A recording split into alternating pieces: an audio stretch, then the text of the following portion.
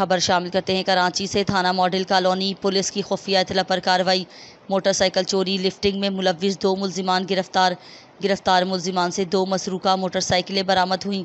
चोरी शुदा मोटरसाइकिल के पार्ट्स स्क्रिप में बेचा करते थे। गिरफ़्तार मुलजिमान की शनाख्त यासीन और खुर्रम के नाम से हुई। मजीद तफ्तीश जारी। मीज़ान न्यूज़ से मलिक सिकंदर की रिपोर्ट।